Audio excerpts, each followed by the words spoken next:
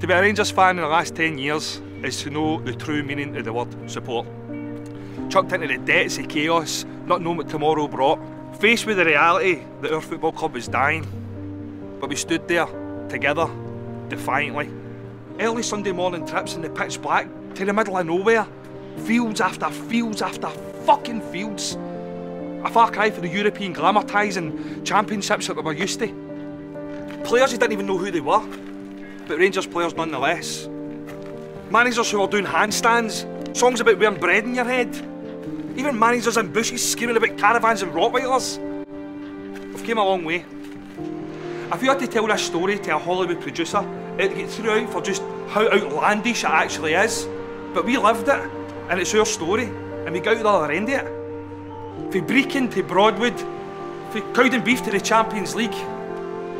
This is our story and this is our journey. So I've wrote a story. Well, actually, I'm telling a story.